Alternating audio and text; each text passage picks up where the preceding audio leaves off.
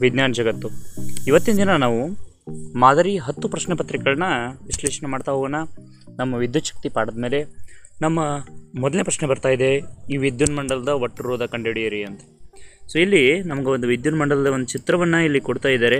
ಈ ಚಿತ್ರದಲ್ಲಿ ಐದು ಓಮ್ ರೆಜಿಸ್ಟರ್ನ ಮತ್ತು ಮೂರು ಪ್ಲಸ್ ಎರಡು ಇವೆರಡು ಸರಣಿಯಲ್ಲಿದ್ದಾವೆ. ಹಾಗಾಗಿ ಇವನ್ನೆರಡನ್ನು ಟೋಟಲ್ ಮಾಡಿದರೆ ನಮಗೆ ಐದು ಓಮ್ ಐದು ಓಮ್ ಎರಡನ್ನ ಸಮಾಂತರವಾಗಿ ಜೋಡಿಸಿದಂಗೆ ಬರ್ತದೆ. ಹಾಗಾದರೆ ಇದರ ಆಪ್ಷನ್ಸ್ ಏನು ಅಂತಂದರೆ ನಮಗೆ ಎರಡು ಓಮ್ ಕೊಡ್ತಿದ್ದಾರೆ, ಹತ್ತು ಓಮ್ ಕೊಡ್ತಿದ್ದಾರೆ, ಇಪ್ಪತ್ತೈದು ಓಮ್ ಕೊಡ್ತಿದ್ದಾರೆ and two point five ohm ಕೊಡ್ತಿದ್ದಾರೆ. ಹಾಗಾದ್ರೆ ಆನ್ಸರ್ ಯಾವುದಿರ್ಬೋದು? ಎಕ್ಸಾಕ್ಟ್ಲಿ ಯಾವುದು ಅಂದರೆ ಟೂ ಪಾಯಿಂಟ್ ಫೈವ್ ರೈಟ್ ನಮ್ಮ ನೆಕ್ಸ್ಟ್ ಪ್ರಶ್ನೆಗೆ ಹೋಗ್ತಾ ಇದ್ದೀವಿ. ಓಮ್ನ ನಿಯಮವನ್ನು ನಿರೂಪಿಸಿ. ಈ ಪ್ರಶ್ನೆ ಭಾಳ ಸಲ ಈಗ ಆಲ್ರೆಡಿ ಬಂದದ. ಸ್ಥಿರ ತಾಪಮಾನದಲ್ಲಿ ವಿದ್ಯುತ್ ಮಂಡಲದ ಲೋಹದ ತಂತಿಗಳ ನಡುವಿನ ವಿಭಾಂತರ ವಿಯು ಅದರ ಮೂಲಕ ಹರಿಯುವ ವಿದ್ಯುತ್ ಪ್ರವಾಹಕ್ಕೆ ನೇರಾನುಪಾತದಾಗಿರ್ತದೆ that is a V is directly proportional to I V by I is equal to ಸ್ಥಿರಾಂಕ. That is a V is equal to I R ಅಂತ ಬರಿತೀವಿ. ವಿದ್ಯುತ್ ಕೋಶ, ವಿದ್ಯುತ್ ಬಲ್ಬ್ ಅಮೀಟರ್ ಮತ್ತು ಪ್ಲಗ್ ಕೀ ರಚನೆಯನ್ನು ತೋರಿಸುವಂಥ ವಿದ್ಯುತ್ ಮಂಡಲ ರೇಖಾಚಿತ್ರ ಬರೆಯಿರಿ ಅಂತ. ಸೊ ಇದು ಸಿಂಪಲ್ ಸರ್ಕ್ಯೂಟ್ ಈ ಚಿತ್ರನೂ ಕೆಲವೊಂದು ಸಲ ಎಕ್ಸಾಮ್ ಕೇಳಿದ್ದಾರೆ ಅಂತ ಹೇಳ್ತಾ ನಮ್ಮ ಮುಂದಿನ ಪ್ರಶ್ನೆಗೆ ಹೋಗ್ತಾ ಇದ್ದೀವಿ. ವಿದ್ಯುತ್ ಮಂಡಲದಲ್ಲಿರುವಂಥ ಉಪಯೋಗಿಸುವಂಥ ಪ್ಯೂಸ್ನ ರಚನೆ ಮತ್ತು ಕಾರ್ಯವನ್ನು ತಿಳಿಸಿರಿ ಅಂತ ಹೇಳ್ತಾರೆ. ರಚನೆ ಏನು? ರೈಟ್ ಪ್ಯೂಸ್ನ ತಂತಿ ಸೂಕ್ತ ದ್ರವಣ ಬಿಂದುವನ್ನು ಹೊಂದಿರಬೇಕು. ಅಂಥ ಒಂದು ಮಿಶ್ರಲೋಹದ ತಂತಿಯಾಗಿರ್ತದೆ. ಸಾಮಾನ್ಯವಾಗಿ ತಾಮ್ರ, ಕಬ್ಬಿಣ ಮತ್ತು ಸೀಸ ಇತರೆ ವಸ್ತುಗಳನ್ನ ಬಳಸಿ ಪ್ಯೂಸನ್ನು ತಯಾರಿಸ್ತಾರೆ. ಪ್ಯೂಸ್ನ ಕಾರ್ಯ ಏನು? ಪ್ಯೂಸ್ನ ಉಪಯೋಗ ಏನು ಅಂದರೆ ಫ್ಯೂಸ್ ವಿದ್ಯುನ್ಮಾನದಲ್ಲಿ ಅಪೇಕ್ಷಿತ ವಿದ್ಯುತ್ ಪ್ರವಾಹಕ್ಕಿಂತ ಅಧಿಕ ಪ್ರಮಾಣದ ವಿದ್ಯುತ್ ಪ್ರವಾಹ ಉತ್ಪತ್ತಿಯಾದಾಗ ತಂತಿಯ ತಾಪ ಹೆಚ್ಚಾಗೋದ್ರಿಂದ ಪ್ಯೂಸ್ ತಂತಿ ಬೇಗನೆ ಕರಗಿ ವಿದ್ಯುನ್ಮಂಡಲದಲ್ಲಿ ಉಂಟಾಗುವಂಥ ಅಪಾಯಗಳಿಂದ ರಕ್ಷಣೆ ಮಾಡ್ತೈತಿ ಅಂತ ಹೇಳ್ತೀವಿ ಅಂತ. ಇನ್ನು ನಮ್ಮ ನೆಕ್ಸ್ಟ್ ಪ್ರಶ್ನೆಗೆ ಹೋಗ್ತಾ ಇದ್ದೀವಿ. ವಿದ್ಯುತ್ ಉಷ್ಣೋತ್ಪಾದನಾ ಪರಿಣಾಮದ ಯಾವುದಾದ್ರೂ ಎರಡು ಪ್ರಾಯೋಗಿಕ ಅನ್ವಯಗಳನ್ನು ಹೇಳ್ರಿ ಅಂತಾಳೆ. ಈ ಥರ ಪ್ರಶ್ನೆ ಭಾಳ ಸಲ ಕೇಳಿದ್ದಾರೆ. ಎರಡು ಪ್ರಾಯೋಗಿಕ ಅನ್ವಯಗಳು ಅಂದರೆ ವಿದ್ಯುತ್ ಬಲ್ಬ್ ಅಂತ ಹೇಳ್ಬೋದು, ವಿದ್ಯುತ್ ಫ್ಯೂಸ್ ಅಂತ ಹೇಳ್ಬೋದು. ಸೊ ಇಲ್ಲಿ ವಿದ್ಯುತ್ ಉಷ್ಣೋತ್ಪಾದನಾ ಪರಿಣಾಮದ ಮೇಲೆ ಕೆಲಸ ಮಾಡ್ತಿರೋದು ಬಲ್ಬ್. ಅದರ ಎಕ್ಸ್ಪ್ಲನೇಷನ್ ಬರೆದಿದ್ದರೆ ಬೆಳಕನ್ನು ಉತ್ಪಾದಿಸಲು ಬಳಸಲಾಗ್ತದೆ. ವಿದ್ಯುತ್ ಬಲ್ಬ್ ಪ್ರಬಲ ಮತ್ತು ಹೆಚ್ಚಿನ ದ್ರವಣ ಬಿಂದುವನ್ನು ಹೊಂದಿರುವಂಥ ಟಂಗಸ್ಟನ್ ತಂತಿಯಿಂದ ಮಾಡಲ್ಪಟ್ಟಿರ್ತದೆ. ಈ ಟಂಗಸ್ಟನ್ ತಂತಿಯ ದ್ರವಣ ಬಿಂದು ಮೂರು ಸಾವಿರದ ಮುನ್ನೂರ ಎಂಬತ್ತು ಡಿಗ್ರಿ ಸೆಲ್ಸಿಯಸ್ ಅಂದರೆ ತುಂಬ ಜಾಸ್ತಿ ಆಗಿರ್ತದೆ. ಹಾಗಾಗಿ ಇದು ಅತಿ ಹೆಚ್ಚು ತಾಪಮಾನದಲ್ಲಿ ಕಾಯ್ತದ, ಅದರಿಂದ ಅದು ಬೆಳಕನ್ನು ಹೊರಸೂಸ್ತದ ಅಂತ ಹೇಳ್ತೀವಿ. ಇನ್ನು ಇನ್ನೊಂದು ಎಕ್ಸಾಂಪಲ್ ತೊಗೊಂಡ್ರೆ, ನಾವು ನಿಗದಿತ ಪ್ರಮಾಣಕ್ಕಿಂತ ಹೆಚ್ಚಿನ ಪ್ರಮಾಣದಲ್ಲಿ ವಿದ್ಯುತ್ ಪ್ರವಾಹ ಉಂಟಾದಾಗ, ಮಂಡಲದಲ್ಲಿ ಪ್ರವಹಿಸಿದಾಗ ಪ್ಯೂಸ್ನ ತಂತಿಯ ತಾಪ ಹೆಚ್ಚಾಗ್ತದ, ಅದು ಕರಗ್ತದ, ಇದರಿಂದ ವಿದ್ಯುತ್ ಮಂಡಲದಲ್ಲಿ ಉಂಟಾಗುವಂಥ ಅವಘಡಗಳನ್ನು ಇದು ತಡೆಗಟ್ಟತತಿ ಅಂತ. ಇನ್ನು ನಮ್ಮ ನೆಕ್ಸ್ಟ್ ಪ್ರಶ್ನೆ ಕೇಳ್ತಾರೆ ಎಲೆಕ್ಟ್ರಿಕಲ್ ಬಲ್ಬನ್ನು ಎರಡುನೂರ ಇಪ್ಪತ್ತು ವೋಲ್ಟ್ ಜನರೇಟರ್ಗೆ ಸಂಪರ್ಕಿಸಲಾಗಿದೆ. ಜೀರೋ ಪಾಯಿಂಟ್ ಫೈವ್ ಅಂಪಿಯರ್ ವಿದ್ಯುತ್ ಪ್ರವಹಿಸಿದರೆ ವಿದ್ಯುತ್ ಬಲ್ಬ್ನ ಸಾಮರ್ಥ್ಯ ಎಷ್ಟು? ಸಾಮರ್ಥ್ಯದ ಸೂತ್ರ ಕುತಲ P is equal to V I that is ದತ್ತಾಂಶಗಳನ್ನ ಅದರಲ್ಲಿ ತುಂಬಿದರೆ ನಮ್ಗೆ ಆನ್ಸರ್ ಬರ್ತದೆ ನೂರ ಹತ್ತು ಪ್ಯಾಟ್ ನೆಕ್ಸ್ಟ್ ಕ್ವಶನ್ ಹೋಗ್ತಾ ಇದ್ದೀವಿ. ನಮ್ಮ ಎರಡನೇ ಕ್ವಶನ್ ಪೇಪರಲ್ಲಿ ಕೇಳಿರುವಂಥ ಮೊದಲನೇ ಪ್ರಶ್ನೆ ವಿದ್ಯುತ್ ಮಂಡಲದಲ್ಲಿ ಅನೇಕ ಬಾರಿ ರೋಧ ಬದಲಾಯಿಸಲು ಬಳಸುವ ಸಾಧನ.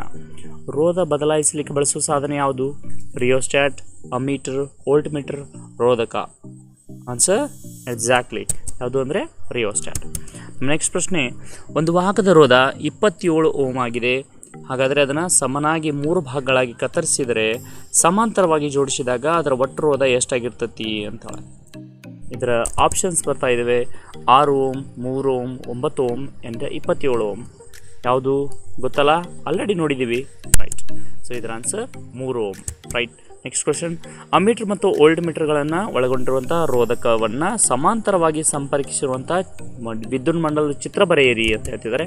ಸೊ ಈ ಚಿತ್ರ ಬಹಳ ಸಲ ಆಲ್ರೆಡಿ ನೋಡಿದ್ದೀವಿ ರೈಟ್ ನೆಕ್ಸ್ಟ್ ಕ್ವಶನ್ಗೆ ಹೋಗ್ತಾ ಇದ್ದೀವಿ ವಾಹಕದ ರೋಧ ಎಂದರೇನು ಮತ್ತು ರೋಧ ಅವಲಂಬಿಸಿರೋ ಅಂಶಗಳು ಯಾವುವು ಅಂತ. ಈಗ ಆಲ್ರೆಡಿ ಇವೆಲ್ಲ ಕ್ವಶನ್ಸು ರಿಪೀಟ್ ಆಗ್ತಾ ಇದ್ದಾವೆ. ಹಾಗಾಗಿ ಭಾಳ ನಾನು ಹೇಳೋ ಅವಶ್ಯಕತೆ ಇಲ್ಲ ಅಂತ ಅನ್ಕೋತಾ ಇದ್ದೀನಿ. ರೋಧ ಅಂದರೆ ವಿದ್ಯುತ್ ಪ್ರವಾಹಕ್ಕೆ ವಾಹಕ ಒಡ್ಡುವ ಅಡೆತಡೆ ಅಂತ ಹೇಳ್ತೀವಿ. ರೋಧ ಅವಲಂಬಿಸಿರೋ ಅಂಶಗಳು ಅಂದರೆ ವಾಹಕದ ಉದ್ದ, ವಾಹಕದ ಅಡ್ಡ ಕೊಯ್ತ, ಅದರ ಪ್ರಾಕೃತಿಕ ಗುಣ ಮತ್ತು ವಾಹಕದ ತಾಪ ಅಂತ. ಸೊ ರೈಟ್ ನೆಕ್ಸ್ಟ್ ಪ್ರಶ್ನೆ ಹೋಗ್ತಾ ಇದ್ದೀವಿ. ಓಮ್ನ ನಿಯಮವನ್ನು ನಿರೂಪಿಸಿ ಮತ್ತು ಗಣತೀಯ ರೂಪ ಬರೆಯಿರಿ ಅಂತ ಹೇಳಿದರೆ, ಓಮ್ನ ನಿಯಮ, ಸ್ಥಿರ ತಾಪಮಾನದಲ್ಲಿ ವಿದ್ಯುತ್ ಮಂಡಲದ ಲೋಹದ ತಂತಿಗಳ ನಡುವಿನ ವಿಭಾಂತರ ವಿಯು ಅದರ ಮೂಲಕ ಹರಿಯುವ ವಿದ್ಯುತ್ ಪ್ರವಾಹಕ್ಕೆ ನೇರಾನುಪಾತದಲ್ಲಿರ್ತದೆ ಅಂತ ಇನ್ನು ಅದರ ಗಣತೀಯ ಸ್ವರೂಪ V is direct proportional to I ಅಂತ ಹೇಳ್ತೀವಿ. V by I is equal to ಸ್ಥಿರಾಂಕ ದಟ್ ಇಸ್ ಆರ್ ಅಂತ ಹೇಳ್ತೀವಿ. That is a V is equal to I R ಅಂತ ಬರೀತಾರೆ. ಇನ್ನು ವಿದ್ಯುತ್ ಪ್ರವಾಹದ ಉಷ್ಣೋತ್ಪಾದನಾ ಪರಿಣಾಮ ಎಂದರೇನು ಅಂತ ಹೇಳ್ತಿದ್ದಾರೆ ಎಂದರೇನು ಅಂತಂದರೆ, ಎಸ್, ರೋಧಕದಲ್ಲಿ ಉತ್ಪತ್ತಿಯಾಗುವಂಥ ಉಷ್ಣ ಪ್ರವಹಿಸುತ್ತಿರುವಂಥ ವಿದ್ಯುತ್ ಪ್ರವಾಹದ ವರ್ಗಕ್ಕೆ ನೇರಾನುಪಾತದಲ್ಲಿರ್ತದೆ ರೋಧಕ್ಕೆ ನೇರಾನುಪಾತದಲ್ಲಿರ್ತದೆ ಮತ್ತು ವಿದ್ಯುತ್ ಪ್ರವಾಹದ ಕಾಲಕ್ಕೆ ನೇರಾನುಪಾತದಲ್ಲಿರ್ತದೆ ಜೌಲ್ನ ಉಷ್ಣೋತ್ಪಾದನಾ ನಿಯಮದ ಸೂತ್ರ H is equal to I square R T ಅಂತ ಹೇಳ್ತೀವಿ. ಓಕೆ ನೆಕ್ಸ್ಟ್ ಪ್ರಶ್ನೆ. ವಾಹಕ. ನಿಜ ವಿದ್ಯುತ್ ವಾಹಕದ ಉಷ್ಣೋತ್ಪಾದನಾ ಪರಿಣಾಮದ ಯಾವುದಾದ್ರೂ ಎರಡು ಪ್ರಾಯೋಗಿಕ ಅನ್ವಯಗಳು. ಸೇಮ್ ಕ್ವಶನ್ ನಾವು ಮತ್ತೆ ಮತ್ತೆ ನೋಡ್ತಾ ಇದ್ದೀವಿ. ಮತ್ತೆ ಮತ್ತೆ ಅವುಗಳನ್ನ ರಿಪೀಟ್ ಮಾಡೋ ಅವಶ್ಯಕತೆ ಇಲ್ಲ ಅಂತ ಅನ್ಕೋತಾ ಇದ್ದೀನಿ. ಯಾಕಂದ್ರೆ ಈಗ ಆಲ್ರೆಡಿ ಭಾಳ ಸಲ ನಾವು ನೋಡಿದ್ದೀವಿ ಅಂತ. ಇನ್ನು ಎಲೆಕ್ಟ್ರಿಕಲ್ ಬಲ್ಬನ್ನು ಎರಡುನೂರ ಇಪ್ಪತ್ತು ವೋಲ್ಟ್ ಜನ್ರೇಟರ್ಗೆ ಸಂಪರ್ಕಿಸಿದಾಗೆ ಜೀರೋ ಪಾಯಿಂಟ್ ಫೈವ್ ಅಂಪಿಯರ್ ವಿದ್ಯುತ್ ಪ್ರವಾಹ ಮಾಡಿದರೆ ಬಲ್ಬ್ನ ಸಾಮರ್ಥ್ಯ ಎಷ್ಟು? ಆಲ್ರೆಡಿ ಜಸ್ಟ್ ನೋಡಿದ ಪ್ರಶ್ನೆ ಪತ್ರಿಕೆ ಒಳಗೂ ಇತ್ತು ಇದು. ಸೇಮ್ ಕ್ವಶನ್ ನಾವು ಮೂರನೇ ಪ್ರಶ್ನೆ ಪತ್ರಿಕೆ ಹೋಗ್ತಾ ಇದ್ದೀವಿ. ವಿದ್ಯುತ್ ರೋಧದ ಅಂತಾರಾಷ್ಟ್ರೀಯ ಏಕಮಾನ ಯಾವುದು? ವಿದ್ಯುತ್ ರೋಧದ ಅಂತಾರಾಷ್ಟ್ರೀಯ ಏಕಮಾನ ಯಾವುದು? ಗೊತ್ತಲ್ಲ? ರೈಟ್ ಎಕ್ಸಾಕ್ಟ್ಲಿ ಯಾವುದು ಅಂದರೆ ಓಮ್ ರೈಟ್ ಒಂದು ವಿದ್ಯುನ್ಮಂಡಲದಲ್ಲಿ ಹೆಚ್ಚು ಉಷ್ಣವನ್ನು ಉತ್ಪತ್ತಿ ಮಾಡುವ ಸಾಧನವನ್ನು ಉಪಯೋಗಿಸಬೇಕಾಗಿದೆ.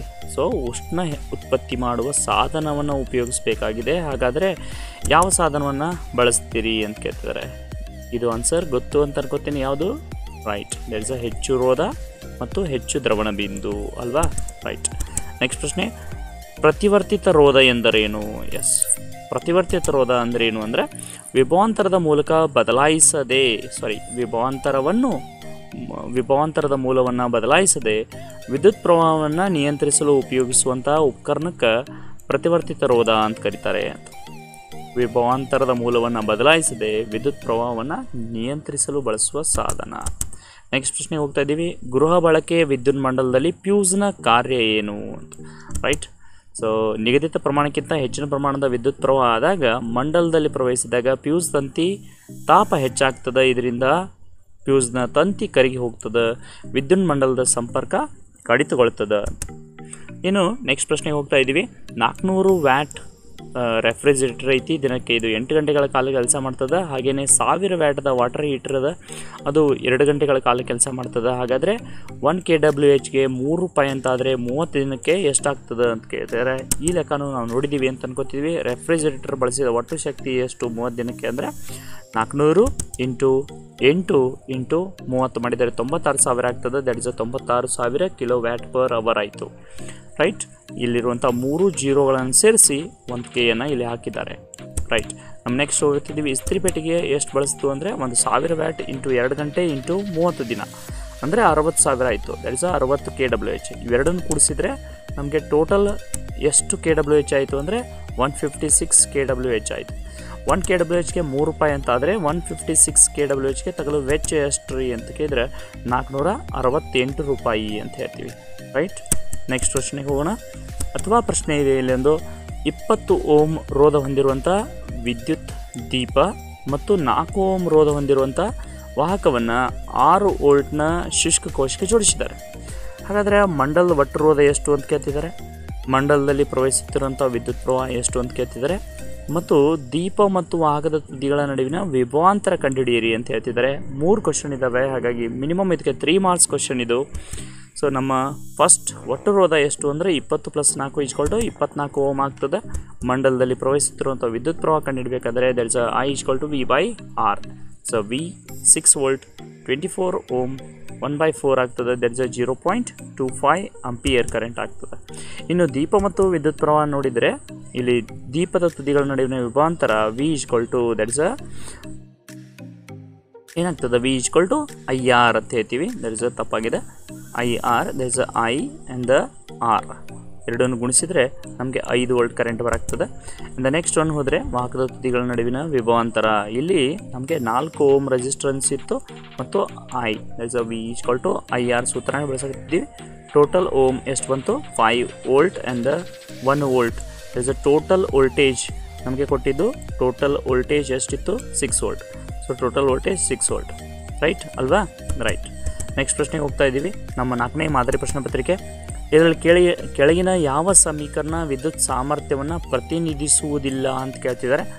ಪ್ರಶ್ನೆ ಓದುವಾಗ ಸರಿಯಾಗಿ ಓದಬೇಕು. ಯಾವುದು ಉತ್ತರ ಅಂದರೆ V is equal to V I correct P is equal to I square R correct P is equal to V Q by T ಇದು ಕರೆಕ್ಟ್ ಇದೆ. So V is equal to V square by R it's a wrong one so ಹಾಗಾಗಿ ಇದೇ ಇಲ್ಲಿ answer ಅಂತ ಹೇಳ್ತೀವಿ. Next ಹೋದರೆ ಫ್ಲೆಮಿಂಗ್ನ ಎಡಗೈ ನಿಯಮದಲ್ಲಿ ಮಧ್ಯ ಬೆರಳು ಏನನ್ನು ಸೂಚಿಸ್ತೈತಿ ಅಂತ ಕೇಳ್ತಿದ್ದಾರೆ ಆ್ಯಕ್ಚುಲಿ ನೆಕ್ಸ್ಟ್ ಪ್ರಶ್ನೆ ಪಾಠದ ಪ್ರಶ್ನೆ ಇದು. ಇಲ್ಲಿ ತಪ್ಪಾಗಿ ಬಂದಿದೆ. ಇದರ ಆನ್ಸರ್ ಯಾವುದು ಅಂದರೆ ರೈಟ್ ಎಕ್ಸಾಕ್ಟ್ಲಿ ಯಾವುದು ಅಂದ್ರೆ ವಿದ್ಯುತ್ಪ್ರವಾದ ದಿಕ್ಕು ಅಂತ ಹೇಳ್ತೀವಿ. ಇನ್ನು, ಈ ಥರ ಪ್ರಶ್ನೆ ಬರಬಹುದು. ಐದು ಕೂಲಂನಷ್ಟು ವಿದ್ಯುದಾವೇಶಗಳನ್ನ ಪಡೆಯಲು ಬೇಕಾಗುವ ಎಲೆಕ್ಟ್ರಾನ್ಗಳ ಸಂಖ್ಯೆಯನ್ನು ಕಂಡುಹಿಡಿಯಿರಿ ಅಂತ ಹೇಳ್ತಾರೆ ಸೊ ಐದು ಕೂಲಮ್ನಷ್ಟು ಅಂತಂದರೆ ನಮ್ಗೆ ಒಂದು ಕೂಲಮ್ ಅಂದರೆ ಗೊತ್ತು. ಒಂದು ಕೂಲಮ್ ಅಂದರೆ six into ten to eighteen ಎಲೆಕ್ಟ್ರಾನ್ಸ್ಗಳಿಗೆ ಸಮ ಅಂತ ಹೇಳ್ತೀವಿ. ಹಾಗಾದ್ರೆ ಐದು ಕೂಲಮ್ ಅಂದರೆ ಐದರಿಂದ ಗುಣಿಸ್ಬಿಡೋದು. ಎಷ್ಟಾಗ್ತದೆ? ದಟ್ಸ್ ಅ ಮೂವತ್ತು ಇಂಟು ಹತ್ತರ ಗಾತ ಹದಿನೆಂಟು ಎಲೆಕ್ಟ್ರಾನ್ಗಳಾಗ್ತವೆ ಸೊ ಇದು ಆನ್ಸರ್ ಅಂತ. ಸಮೀಕರಣದೊಂದಿಗೆ ಓಮ್ನ ನಿಯಮವನ್ನು ನಿರೂಪಿಸಿ ಅಂತ ಹೇಳ್ತಿದ್ದಾರೆ ಮತ್ತು ಎಸ್ ಮಾನ ರೋಧದ ಎಸ್ ಮಾನ ಓಮ್ ಅನ್ನು ತಿಳಿಸಿರಿ ಅಂತ ಹೇಳ್ತಿದ್ದಾರೆ. ಸ್ಥಿರ ತಾಪಮಾನದಲ್ಲಿ ವಿದ್ಯುತ್ ಮಂಡಲದ ಲೋಹದ ತಂತಿಗಳ ನಡುವಿನ ವಿಭವಾಂತರ. ಮಂಡಲದ ಮೂಲಕ ಹರಿಯುವ ಅಥವಾ ತಂತಿಯ ಮೂಲಕ ಹರಿಯುವ ವಿದ್ಯುತ್ ಪ್ರವಾಹಕ್ಕೆ ನೇರಾನುಪಾತದಲ್ಲಿರ್ತದೆ that is to I R ಅಂತ ಬರಿತೀವಿ. ಇನ್ನು ಮೂರು ರೋಧಗಳನ್ನ ಸಮಾಂತರವಾಗಿ ಜೋಡಿಸಿರುವಂಥ ವಿದ್ಯುತ್ ಮಂಡಲದ ರೇಖಾಚಿತ್ರ ಬರೆಯಿರಿ. ರೈಟ್ ಈ ಚಿತ್ರ ಆಲ್ರೆಡಿ ನೋಡಿದಿರಿ, ಬಹಳ ಸಲ ಕೇಳಿದ್ದಾರೆ ಅಂತ. ಇನ್ನು ನಮಗೆ ಇಪ್ಪತ್ತು ಓಮ್ ರೋಧವನ್ನು ಹೊಂದಿರುವಂಥ ಇಸ್ತ್ರಿ ಪೆಟ್ಟಿಗೆಯನ್ನು ನಾವು ಐದು ಅಂಪಿಯರ್ಗೆ ಕರೆಂಟ್ಗೆ ವಿದ್ಯುತ್ ಪ್ರವಾಹವನ್ನು ಮೂವತ್ತು ಸೆಕೆಂಡ್ಗಳ ಕಾಲ ಪ್ರವಹಿಸಿದಾಗ ಉತ್ಪತ್ತಿಯಾಗುವ ಉಷ್ಣವನ್ನು ಕಂಡುಹಿಡಿಯಿರಿ ಅಂತ ಹೇಳ್ತಿದ್ದಾರೆ. ಎಷ್ಟು ಉಷ್ಣ ಉತ್ಪತ್ತಿ ಆಗ್ಬೋದು ಅಂತಂದ್ರೆ ಉಷ್ಣ ಅಂತ ಅಂದ್ಕೂಡಲೇ ನಮ್ಗೆ ಸೂತ್ರ ನೆನಪಾಗಬೇಕು H is equal to I square R T ಅಂತೇಳಿ ನಮ್ಗೇನೇನು ಕೊಟ್ಟಿದ್ದಾರೆ ಬರ್ಕೊಂಡ್ಬಿಡೋನು R is equal to twenty volt ಅಂತ ಕೊಟ್ಟಿದ್ದಾರೆ I is equal to five ampere ಅಂತ ಕೊಟ್ಟಿದ್ದಾರೆ time is equal to thirty seconds ಅಂತ ಕೊಟ್ಟಿದ್ದಾರೆ H is equal to question mark so ಎಲ್ಲ ದತ್ತಾಂಶಗಳು ಆಲ್ರೆಡಿ ಅದಾವೆ ನಮಗೆ. ಅವ್ನು ಹಾಕಿ ತುಂಬಿಬಿಟ್ರೆ ನಮಗೆ ಟೋಟಲ್ ಆನ್ಸರ್ ಬಂದುಬಿಡ್ತದೆ. ಎಷ್ಟು ಟೋಟಲ್ ಆನ್ಸರ್ ಬರೋದು? H is equal to fifteen hundred joules ಅಥವಾ one point five into ten to four joules ಅಂತಲೂ ಬರಿಬೋದು, ಹೀಗೂ ಬರಿಬೋದು. ಯಾವುದು ತಪ್ಪಲ್ಲ. ನೆಕ್ಸ್ಟ್ ಪ್ರಶ್ನೆಗೆ ಹೋಗೋಣ. ನಾಲ್ಕುನೂರು ಸಾರಿ ಇದು ನಲವತ್ತು ಡಿಗ್ರಿ ಸೆಲ್ಸಿಯಸ್ ತಾಪಮಾನದಲ್ಲಿ ಮೂರು ಮೀಟರ್ ಉದ್ದ ಇರುವಂಥ ಮ್ಯಾಂಗನೀಸ್ ತಂತಿಯ ರೋಧಶೀಲತೆ one point eight four into ten to minus six ohm metre ಆಗಿದೆ. ತಂತಿಯ ವ್ಯಾಸ ಮೂರು ಇಂಟು ಹತ್ತರ ಘಾತ ಮೈನಸ್ ನಾಲ್ಕು. ಆದರೆ ಆ ತಂತಿಯ ರೋಧವನ್ನು ಕಂಡುಹಿಡಿಯಿರಿ ಅಂತ ಹೇಳ್ತಿದ್ದಾರೆ. ಈಗ ರೋಧಶೀಲತೆ ಕೊಟ್ಟಿದ್ದಾರೆ, ರೋಧವನ್ನು ಕಂಡುಹಿಡಿಯಿರಿ ಅಂತ ಹೇಳ್ತಿದ್ದಾರೆ. ಸೂತ್ರ ನಮ್ಗೆ ಗೊತ್ತು. ಯಾವ ಸೂತ್ರ as uh R equal to rho L divided by A ಅಂತ ಹೇಳ್ತಿದ್ದೀವಲ್ಲ ಆ ಸೂತ್ರ. ನಮಗೇನೇನು ಕೊಟ್ಟಿದ್ದಾರೆ? ಮೊದಲು ಬರ್ಕೊಂಡಿದ್ದೀವಿ ರೋಧಶೀಲತೆ ಕೊಟ್ಟಿದ್ದಾರೆ ಲೆಂತ್ ಉದ್ದಾನ ಕೊಟ್ಟಿದ್ದಾರೆ ಡಯಾಮೀಟ್ರ್ ಕೊಟ್ಟಿದ್ದಾರೆ ಅದರ ವ್ಯಾಸವನ್ನು. ಸೊ ಅಡ್ಡ ಕೊಯ್ತವನ್ನು ಮೊದಲು ತೊಗೊಂಡ್ಬಿಡೋರು ಅಂತೇಳಿ ಅಡ್ಡ ಕೊಯ್ತ that is equal to pi D square by four ಎಲ್ಲ ದತ್ತಾಂಶಗಳನ್ನ ತುಂಬಿ ನೀವು ಸರಿ ಮಾಡಿದಿರಿ ಅಂದರೆ ಲಾಸ್ಟಿಗೆ ನಮ್ಗೆ ಆನ್ಸರ್ ಇಲ್ಲಿ ಬರಾಗ್ತದೆ. Ninety nine divided by fourteen into ten to minus eight metre square ಅಂತೇಳಿ ಇನ್ನು R is equal to rho L divided by A ಸೂತ್ರದಲ್ಲಿ ಅದನ್ನು ತಂದು ತುಂಬಬೇಕು. ನಮಗೆ ಏರಿಯಾ ಫಾರ್ಮುಲಾ ಬಂದುಬಿಟ್ಟಿದೆ. ಅದನ್ನು ತುಂಬಿದ್ದೀವಿ ಇಲ್ಲಿ. ಅದನ್ನು ಸಿಂಪ್ಲಿಫೈ ಮಾಡ್ತಾ ಹೋದರೆ ನಮಗೆ ಕೊನೆಗೆ ಬರ್ತದೆ R is equal to twenty six point zero two ohms ಅಂತ. ಇನ್ನು ನೆಕ್ಸ್ಟ್ ಪ್ರಶ್ನೆಗೆ ಹೋಗ್ತಾ ಇದ್ದೀವಿ ಇಲ್ಲಿ. ರೋಧಗಳಾದಂಥ R one R two R ತ್ರೀಗಳು ಕ್ರಮವಾಗಿ ಐದು ಓಮ್ ಅದಾವೆ, ಹತ್ತು ಓಮ್ ಮತ್ತು ಮೂವತ್ತು ಓಮ್ಗಳಾಗಿದ್ದು ಸಮಾಂತರವಾಗಿ ಜೋಡಿಸಿದ್ದಾರೆ. ಹನ್ನೆರಡು ವೋಲ್ಟ್ ವಿಭವಾಂತರಕ್ಕೆ ಜೋಡಿಸಿದ್ದಾರೆ. ಹಾಗಾದರೆ ಪ್ರತಿಯೊಂದು ರೋಧಕದ ಮೂಲಕ ಪ್ರವಹಿಸುತ್ತಿರುವ ವಿದ್ಯುತ್ ಪ್ರವಾಹವನ್ನು ಕಂಡುಹಿಡಿಯಿರಿ ಮತ್ತು ಮಂಡಲದಲ್ಲಿರುವಂಥ ಒಟ್ಟು ವಿದ್ಯುತ್ ಪ್ರವಾಹವನ್ನು ಕಂಡುಹಿಡಿಯಿರಿ ಅಂತ ಹೇಳ್ತಿದ್ದಾರೆ. ನಮ್ಗೆ ಕೊಟ್ಟಿರುವಂಥ ದತ್ತಾಂಶಗಳನ್ನ ಫಸ್ಟ್ ಬರ್ಕೊಂಡಿದ್ದೀವಿ. ಆರು ಸಾರಿ ಐದು ಓಮ್, ಹತ್ತು ಓಮ್, ಎಂದ ಮೂವತ್ತು ಓಮ್, ಎಂದ ಟ್ವೆಲ್ವ್ ಓಮ್. ಈಗ ನಮ್ಗೆ ಕೇಳಿರೋದೇನು ಒಟ್ಟು ರೋದ ಕಂಡುಹಿಡಿಬೇಕು ನಾವು? ರೋ, ಒಟ್ಟು ರೋಧ there is one by R P is equal to one by R one plus one by R two plus one by R three ಇವುಗಳನ್ನ ಬರೆದಾಗ one by five plus one by ten one by thirty ಆಗ್ತದೆ. ಇದು ಲಸ ತೆಗೆದ್ರೆ ಮೂವತ್ತಾಗ್ತದೆ ಇಲ್ಲಿ six plus three plus one is equal to thirty ಆಗ್ತದೆ. ಅಂದರೆ ಇವನ್ನೆಲ್ಲ ಕುಡಿಸಿದ್ರೆ ಹತ್ತು by ಮೂವತ್ತಾಯಿತು R P is equal to ಮೂವತ್ತು ಬೈ ಹತ್ತಾಯಿತು ಅಂದರೆ so R P is equal to ನಮಗೆ ಟೋಟಲ್ ರೆಸಿಸ್ಟೆನ್ಸ್ ಬಂತು. ಎಷ್ಟು? ಮೂರು ಓಮ್ ನಮಗೆ ಟೋಟಲ್ ರೆಸಿಸ್ಟೆನ್ಸ್ ಸಿಕ್ಕದ ಅಂದರೆ ಇನ್ನು ಕಂಡುಹಿಡಿಯಬಹುದು ನಾವು. ಪ್ರತಿಯೊಂದು ರೋಧಕದ ಮೂಲಕ ವಿದ್ಯುತ್ ಪ್ರವಾಹ ಎಷ್ಟು ಅಂತ ಹೇಳಿ. So that's I one is equal to V uh V by R one ಅಂತ ಹೇಳ್ತೀವಿ. ಟ್ವೆಲ್ ಬೈ ಫೈವ್ ಮಾಡಿದರೆ ನಮಗೆ ಟೂ ಪಾಯಿಂಟ್ ಫೋರ್ ಅಂಪಿಯರ್ ಬರ್ತದೆ. ಅದೇ ಐ ಟು ಬಂದರೆ ವಿ ಬೈ ಆರ್ ಟು ಅಂತ ಹಚ್ತೀವಿ, ಹನ್ನೆರಡು ಬೈ ಹತ್ತು ಮಾಡ್ತೀವಿ that is uh one point two ampere ಬರ್ತದೆ. I three is equal to V by R three ಅಂತ ಹೇಳ್ತೀವಿ ಟ್ವೆಲ್ ಬೈ ಥರ್ಟಿ ಬರ್ತದೆ, ಅಂದರೆ ಜೀರೋ ಪಾಯಿಂಟ್ ಫೋರ್ ಬರ್ತದೆ. ಇವೆಲ್ಲವನ್ನು ಕೂಡಿಸಿದರೆ ನಮಗೆ ಟೋಟಲ್ ವೋಲ್ಟ್ ಸಾರಿ ವಿದ್ಯುತ್ ಪ್ರವಾಹ ಎಷ್ಟು ಅಂದರೆ ನಾಲ್ಕು ಅಂಪಿಯರ್ ಕರೆಂಟ್ ಇಲ್ಲಿ ಕಾಣಿಸ್ಕೊತೈತಿ ಅಂತ. ಇನ್ನು ನಮ್ಮ ಐದನೇ ಮಾದರಿ ಪ್ರಶ್ನೆ ಪತ್ರಿಕೆಗೆ ಹೋಗ್ತೀವಿ ವಿದ್ಯುನ್ಮಂಡಲದಲ್ಲಿ ಉಪಯೋಗಿಸುವಂಥ ಸಾಂಪ್ರದಾಯಿಕ ಚಿಹ್ನೆ ಯಾವುದು? ಈ ಚಿಹ್ನೆ ಹೆಸರೇನು ಅಂತ ಕೇಳ್ತಿದ್ದಾರೆ. ಏನಿದ್ರೆ ಹೆಸರು ಅಂತಂದರೆ ಗೊತ್ತಲ್ಲ?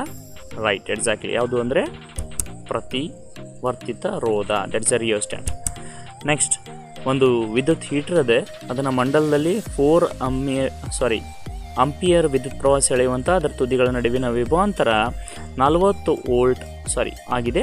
ಸದರಿ ವಿದ್ಯುತ್ ಹೀಟರ್ನ ವಿಭಾಂತರವನ್ನು ಎಂಬತ್ತು ವೋಲ್ಟ್ಗೆ ಸಾರಿ ವೋಲ್ಟ್ಗೆ ಹೆಚ್ಚಿಸಿದಾಗ ವಿದ್ಯುತ್ ಹೀಟರ್ ಸೆಳೆಯುವ ವಿದ್ಯುತ್ ಪ್ರವಾಹ ಎಷ್ಟು ಅಂತ ಕೇಳ್ತಿದ್ದಾರೆ. ಮೊದಲು ನಮಗೆ ದತ್ತಾಂಶಗಳನ್ನ ಬರ್ಕೋಬೇಕು. ನಮ್ಗೆ four ampere forty volt eighty volt V to R ಕಂಡುಹಿಡಿಬೇಕು. ಫಸ್ಟ್ ಆರ್ ಕಂಡುಹಿಡಿಬೇಕು R is equal to V by I so ಅದನ್ನು ಮಾಡಿದರೆ ನಮ್ಗೆ R is equal to ten ohm ಅಂತ ಬಂತು.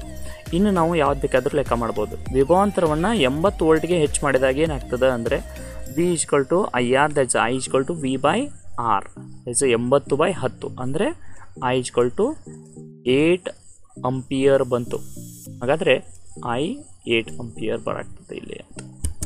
ನಮ್ಮ ನೆಕ್ಸ್ಟ್ ಪ್ರಶ್ನೆಗೆ ಹೋಗ್ತಾ ಇದ್ದೀವಿ. ವಿದ್ಯುತ್ ರೋಧವನ್ನು ವ್ಯಾಖ್ಯಾನಿಸಿ ಅಂತ ಹೇಳ್ತಿದ್ದಾರೆ. ವಿದ್ಯುತ್ ರೋಧವನ್ನು ವ್ಯಾಖ್ಯಾನಿಸಿ ಅಂದರೆ ವಿದ್ಯುತ್ ರೋಧ ಎಂದರೇನು ಅಂತಂದಂಗೆ ವಾಹಕದ ರೋಧ ಅವಲಂಬಿಸಿರುವ ಅಂಶಗಳನ್ನು ಪಟ್ಟಿ ಮಾಡಿರಿ ಅಂತ ಹೇಳ್ತಾರೆ. ವಾಹಕದ ವಾಹಕದಲ್ಲಿ ಪ್ರವಹಿಸುವ ವಿದ್ಯುತ್ ಆವೇಶಗಳಿಗೆ ಅಡೆತಡೆಗಳು ಉಂಟಾಗ್ತವೆ, ಅದನ್ನು ವಿದ್ಯುತ್ ರೋಧ ಅಂತ ಕರಿತೀವಿ. ಅವಲಂಬಿಸಿರುವ ಅಂಶಗಳು ಉದ್ದ, ಅಡ್ಡ ಕೊಯ್ತ, ಪ್ರಾಕೃತಿಕ ಗುಣ ಮತ್ತು ತಾಪ ಅಂತ ಗೊತ್ತು. ನೆಕ್ಸ್ಟ್ ಪ್ರಶ್ನೆಗೆ ಹೋಗ್ತಾ ಇದ್ದೀವಿ. ಸರಣಿ ಜೋಡಣೆ, ಸಮಾಂತರ ಜೋಡಣೆಗಿಂತ ಸಾರಿ ಸಮಾಂತರ ಜೋಡಣೆ, ಸರಣಿ ಜೋಡಣೆಗಿಂತ ಉತ್ತಮ ಕಾರಣ ಏನು ಅಂತ ಕೇಳ್ತಿದ್ದಾರೆ. ಏನು ಕಾರಣ ಅಂದರೆ ಸರಣಿ ಕ್ರಮದಲ್ಲಿ ಜೋಡಿಸಿದಾಗ ಉಪಕರಣಗಳು ಕಾರ್ಯನಿರ್ವಹಿಸಲಿಕ್ಕೆ ಭಿನ್ನ ಪ್ರಮಾಣದ ವಿದ್ಯುತ್ ಪ್ರವಾಹದ ಅಗತ್ಯ ಇರ್ತದೆ. ಸರಣಿ ಕ್ರಮದಲ್ಲಿ ಒಂದು ಘಟಕ ವಿಫಲವಾದರೆ ಸಂಪೂರ್ಣ ವಿದ್ಯುತ್ ಮಂಡಲ ಸಂಪರ್ಕ ಕಡಿತಗೊಳ್ತದೆ. ಉಳಿದ ಯಾವುದೇ ಘಟಕಗಳು ಕಾರ್ಯನಿರ್ವಹಿಸುವುದಿಲ್ಲ. ಆದರೆ ಸಮಾಂತರವಾಗಿ ಜೋಡಿಸಿದರೆ ಪ್ರತಿಯೊಂದು ಉಪಕರಣಕ್ಕೆ ವಿದ್ಯುತ್ ಪ್ರವಾಹ ವಿಭಜನೆಯಾಗೇ ದೊರೀತದೆ. ಹಾಗಾಗಿ ಎಲ್ಲ ಉಪಕರಣಗಳು ಕೆಲಸ ಮಾಡ್ತವೆ.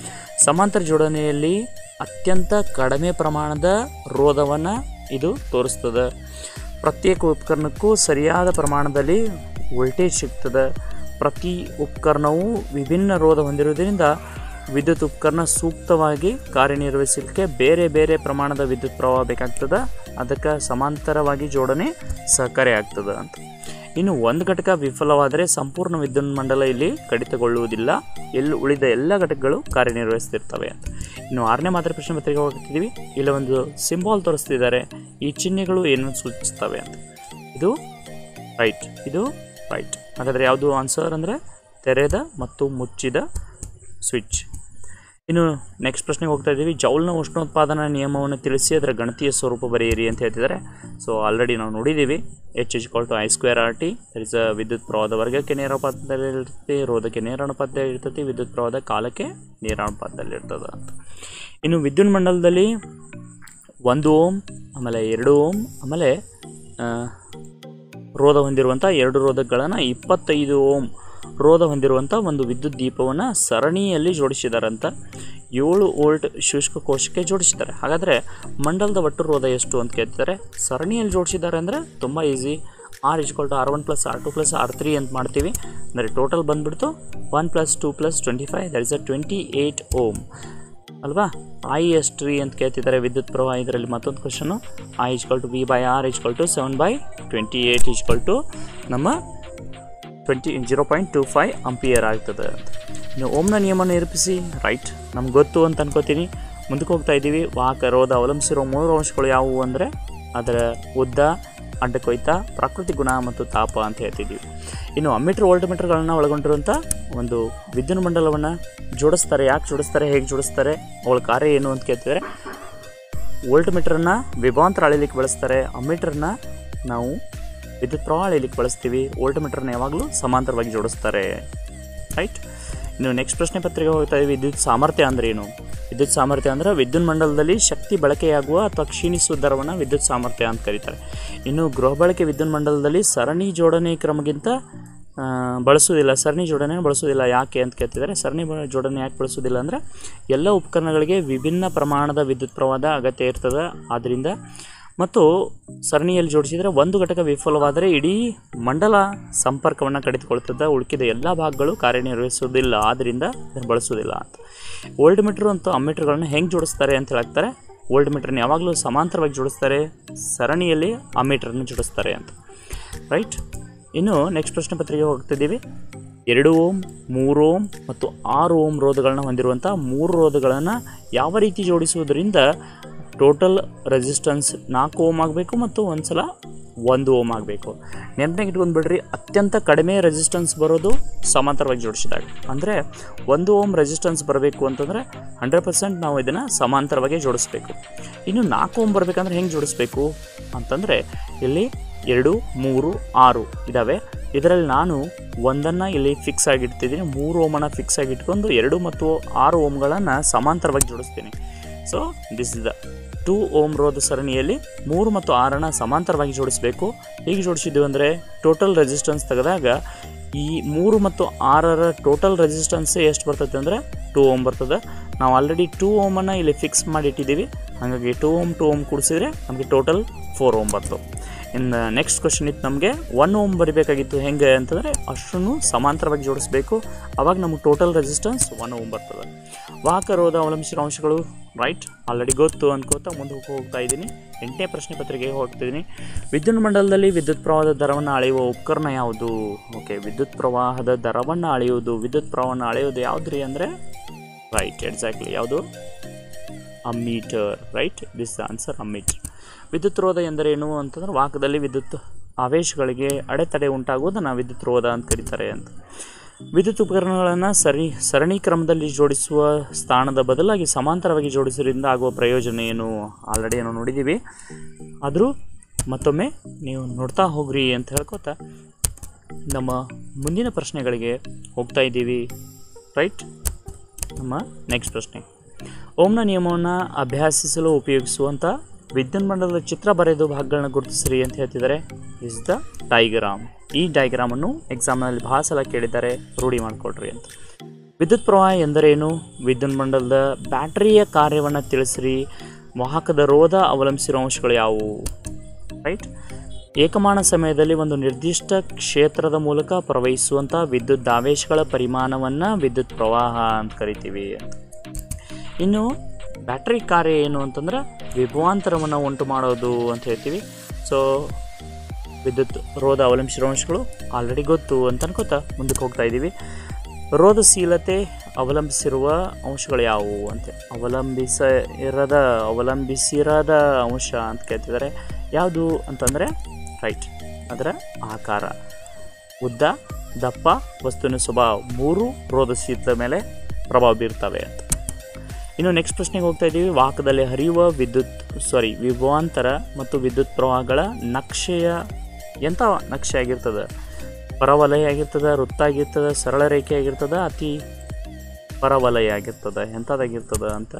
ಎಂಥದ್ದಾಗಿರ್ತದೆ ಅಂದ್ರೆ ಅತಿ ಪರವಲಯ ಆಗಿರ್ತದೆ ವಿದ್ಯುನ್ಮಂಡಲದಲ್ಲಿ ಬ್ಯಾಟರಿಯನ್ನು ಸೂಚಿಸುವ ಸಂಕೇತವನ್ನು ಬರೆಯಿರಿ ಅಂತ ಹೇಳ್ತಿದ್ದಾರೆ. ದಿಸ್ ದ ಬ್ಯಾಟ್ರಿ ಸಿಂಬಾಲ್ ಒಂದು ದೊಡ್ಡ ಗೆರೆ, ಒಂದು ಚಿಕ್ಕ ಗೆರೆ. ದೊಡ್ಡ ಗೆರೆ ಯಾವಾಗಲೂ ಪ್ಲಸ್ಸನ್ನು ಹೇಳ್ತಿರ್ತೈತಿ, ಚಿಕ್ಕ ಗೆರೆ ಯಾವಾಗಲೂ ಮೈನಸನ್ನು ಹೇಳ್ತಿರ್ತೈತಿ ಅಂತ. ಇನ್ನು ಮೂರು ರೋಧಗಳನ್ನು ಜೊತೆ ಅಮ್ಮೀಟ್ರನ್ನು ಜೋಡಿಸಿರುವಂಥ ಚಿತ್ರವನ್ನು ಬರೆದು ಭಾಗಗಳನ್ನ ತೋರಿಸ್ರಿ ಅಂತ ಹೇಳ್ತಿದ್ದಾರೆ. ವಿದ್ಯುತ್ ಪ್ರವಾಹದ ದಿಕ್ಕನ್ನು ಸೂಚಿಸ್ರಿ ಅಂತ ಹೇಳ್ತಿದ್ದಾರೆ. ನೆಕ್ಸ್ಟ್ ಪ್ರಶ್ನೆ ಪತ್ರಿಕೆ ಹೋಗ್ತಾ ಇದ್ದೀವಿ. ಒಂದು ವಿದ್ಯುತ್ ದೀಪದ ರೋಧ ಹಂಡ್ರೆಡ್ ಓಮ್ ಅಂತಿದೆ. ಟೋಸ್ಟರ್ನ ರೋಧ ಐವತ್ತು ಓಮ್ ಅಂತಿದೆ. ಒಂದು ಫಿಲ್ಟರ್ ಇದೆ, ಅದರ ರೋಧ ಐದುನೂರು ಓಮ್ ಆಗಿದ್ದು, ಇವುಗಳನ್ನು ಸಮಾಂತರವಾಗಿ ಜೋಡಣೆಯಾಗಿ ಮಾಡಲಾಗಿದೆ. ಎರಡುನೂರ ಇಪ್ಪತ್ತು ವೋಲ್ಟ್ ವಿದ್ಯುತ್ ಮೂಲಕ್ಕೆ ಅಳವಡಿಸಿದ್ದಾರೆ. ಈ ಮೂರು ಉಪಕರಣಗಳಷ್ಟೇ ವಿದ್ಯುತ್ ಪ್ರವಾಹವನ್ನು ಉಪಯೋಗಿಸುವ ಒಂದು ಇಸ್ತ್ರಿ ಪೆಟ್ಟಿಗೆಯನ್ನು ಅದೇ ಮೂಲಕ್ಕೆ ಜೋಡಿಸಿದಾಗ ಅದರ ರೋಧ ಮತ್ತು ಹರಿಯುತ್ತಿರುವ ವಿದ್ಯುತ್ ಪ್ರವಾಹ ಕಂಡುಹಿಡಿಯಿರಿ ಅಂತ ಹೇಳ್ತಿದ್ದಾರೆ. ಈಗ ನಮಗೆ ಇಸ್ತ್ರಿ ಪಿಟಿಗೆಯ ರೋಧ ಎಷ್ಟು ಹೇಳಲೇ ಇಲ್ಲ ಅವರು. ಕಂಡುಹಿಡಿಬೇಕಂದ್ರೆ ಮೊದಲು ಈ ಮೂರು ವಸ್ತುಗಳ ರೋಧವನ್ನು ನಾವು ಕಂಡುಹಿಡಿಬೇಕು. ಹಾಗಾಗಿ ಮೊದಲು ದತ್ತಾಂಶಗಳನ್ನ ಬರ್ಕೋಣ. ವಿದ್ಯುತ್ ದ್ವೀಪದ ರೋಧ ಇಸ್ ಹಂಡ್ರೆಡ್ ಓಮದ ಟೋಸ್ಟರ್ ಐವತ್ತು ಓಮದ ಇಂದ ನೀರಿನ ಫಿಲ್ಟ್ರದು ಐದುನೂರು ಓಮದ ವಿಭವಾಂತರ ಎರಡುನೂರ ಇಪ್ಪತ್ತು ವೋಲ್ಟ್ ಅದ.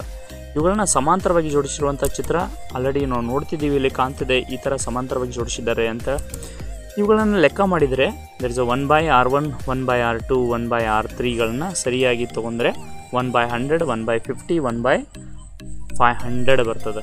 ಸೊ ಓಮ್ನ ನಿಯಮವನ್ನು ಬಳಸಿದರೆ ಇಲ್ಲಿ ನಾವು P is equal to I R ಅಂತ ಬಳೀತೀವಿ. ಇಸ್ ಅ ಮಂಡಲದಲ್ಲಿ ಪ್ರವಹಿಸುವಂಥ ವಿದ್ಯುತ್ ಪ್ರವಾಹ I is equal to V by R there is uh five hundred by sixteen ಇಲ್ಲಿ ಲಸ ತೆಗೆದ್ರೆ ನಮಗೆ ಫೈವ್ ಹಂಡ್ರೆಡ್ ಬರ್ತದೆ. ಮ್ಯಾಲಿನ ಅಂಕಿ ಎಷ್ಟು ಬರ್ತದೆ ಅಂದರೆ ಸಿಕ್ಸ್ಟೀನ್ ಬರ್ತದೆ. Right that is uh sixteen by five hundred ಆಗಿರ್ತದೆ.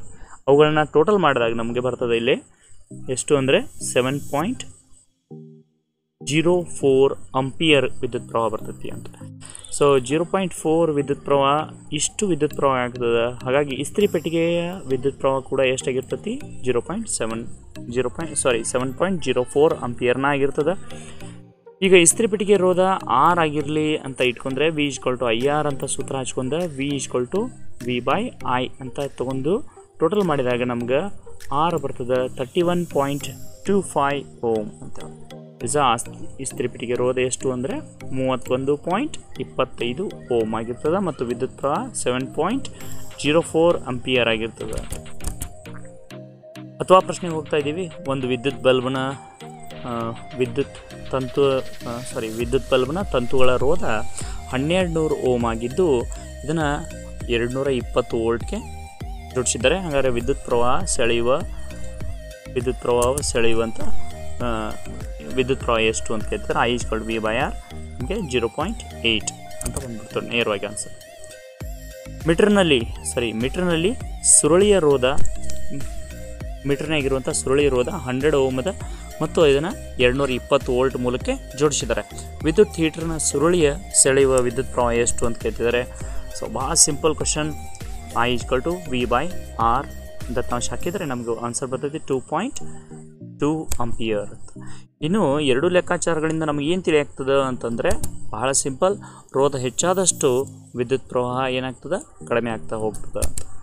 ಇನ್ನು ಹತ್ತನೇ ಪ್ರಶ್ನೆ ಪತ್ರಿಕೆಗೆ ಹೋಗ್ತಾ ಇದ್ದೀವಿ. ಇಲ್ಲಿ ಪಿ ಕ್ಯೂ ಆರ್ ಎಸ್ ರೋಧಶೀಲತೆಯನ್ನು ನೀಡಲಾಗಿದೆ. ರೈಸ್ ಇವುಗಳನ್ನು ಕೊಟ್ಟಿದ್ದಾರೆ. ರೋಧಶೀಲತೆ ನಮಗೆ ಇಲ್ಲಿ ಪಿ ಕ್ಯೂ ಆರ್ ಎಸ್ ಅಂತ ನಾಲ್ಕು ರೋಧಶೀಲತೆಗಳನ್ನು ಕೊಟ್ಟಿದ್ದಾರೆ. ನೂರ ಹತ್ತು ಹತ್ತರಘಾತ ಮೈನಸ್ ಎಂಟಿದೆ. ಆರು ಹತ್ತರಘಾತ ಪ್ಲಸ್ ಹತ್ತು ಓಮ್ ಇದೆ. ಒಂಬತ್ತು ಪಾಯಿಂಟ್ ಒಂಬತ್ತು ಹತ್ತಿರಗತ ಮೈನಸ್ ಎಂಟು ಓಮ್ ಇದೆ. So two point two nine into ten to plus three ohm ಇದೆ. ಕೇಳಿರೋ ಪ್ರಶ್ನೆ ಏನು? ರೈಟ್ ಸೌರ ಕೋಶಗಳ ತಯಾರಿಕೆಯಲ್ಲಿ ಇವುಗಳಲ್ಲಿ ಯಾವುದನ್ನು ನೀವು ಬಳಸ್ಕೊತೀರಿ ಅಂತ ಹೇಳ್ತಿದ್ದಾರೆ. ಇದರಲ್ಲಿ ಅತಿ ಸಾಂದ್ ಯಾವುದು ಅಂತ ಹುಡುಕಾಡಬೇಕು ಯಾವುದು ಅತಿ ಸಾಂದು? ಟೂ ಪಾಯಿಂಟ್ ಟು ಫೈನಾ ಅನಿಸ್ತಾ ಇದೆಯಾ? ರೈಟ್ ಇದರಲ್ಲಿ ಇರೋ ಅತಿ ಸಾಂದ್ ಯಾವುದು ಅಂತಂದರೆ ಸಿ ಆನ್ಸರ್ ಸಿ ಯಾಕೆ ಅದು ಅಂತಂದರೆ nine point nine into ten raise to minus eight ಇದೆ. ಇಲ್ಲಿ ಒಂದು ಮೈನಸ್ ಏಯ್ಟ್ ಇದೆ ಬಟ್ ಇದು ಹಂಡ್ರೆಡ್ ಆ್ಯಂಡ್ ಟೆನ್ ಅದ. ಇದನ್ನು ಹೇಳ್ಬೋದಲ್ಲ ಅಂತ ನೀವು ಅನ್ಕೋಬೋದು. ಸಿಕ್ಸ್ ಪಾಯಿಂಟ್ ಅದ ಅಲ್ಲೇ ಸರ್ ಅಂತ. ಬಟ್ ಇಲ್ಲಿ ಮುಂದೆ ನೋಡ್ರಿ ಹತ್ತರ ಘಾತ ಹತ್ತಿದೆ ಇದು ಸಹ ಅಂದ ಬಟ್ ಹತ್ತರ ಘಾತ ಪ್ಲಸ್ ಮೂರಿದೆ ಹಾಗಾಗಿ ಇಲ್ಲಿ ಆನ್ಸರ್ ಸಿ ಇದೆ ಕರೆಕ್ಟ್ ಆನ್ಸರ್ ನೆಕ್ಸ್ಟ್ ಪ್ರಶ್ನೆಗೆ ಹೋಗ್ತಾ ಇದ್ದೀವಿ. ಚಿತ್ರ ನಾವು ನೋಡ್ತಿದ್ದೀವಿ. ಮೂರು ಚಿತ್ರಗಳನ್ನು ಕೊಟ್ಟಿದ್ದಾರೆ, ಮಂಡಲಗಳನ್ನು ಕೊಟ್ಟಿದ್ದಾರೆ. ಅತ್ಯಂತ ಕ್ಷೀಣ ಬೆಳಕನ್ನು ನೀಡುವ ಜೋಡಣೆ ಯಾವುದು ಅಂತ ಕೇಳ್ತಿದ್ದಾರೆ. ಅತ್ಯಂತ ಕ್ಷೀಣ ಬೆಳಕನ್ನು ಕೊಡಬೇಕು ಅಂದ್ರೆ ರೋಧ ತುಂಬ ಜಾಸ್ತಿ ಆಗಬೇಕು.